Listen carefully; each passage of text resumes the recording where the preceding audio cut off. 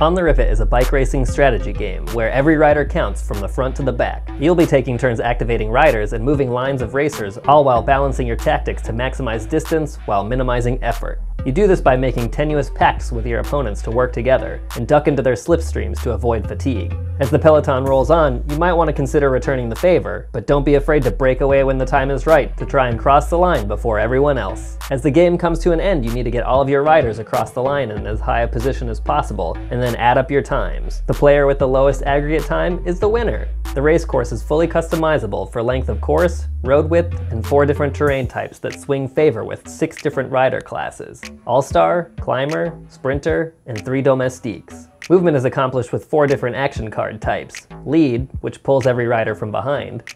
Chase, which follows every rider ahead.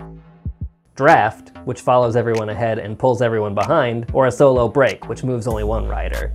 On the Rivet is a game about managing the chaos of the moment. Should your climber lead a line of opponents in a desperate bid to overtake the leaders? Or should your sprinters sit back and take a draft to avoid their negative movement modifier? Should your all-star chase from the back? Or will the early effort eventually leave them high and dry? And remember, every time you draw a new card, there's a chance for an exciting event that will surely feature in tomorrow's headlines. From flats to crashes to unruly fans and more. On the Rivet is a game for 3 to 5 players, or 6 to 7 with the Team Tactics expansion, and can play between 45 and 90 minutes. You can get more information below or at littletinyfish.com slash on dash the dash rivet, or follow us on social media everywhere at On the Rivet Game.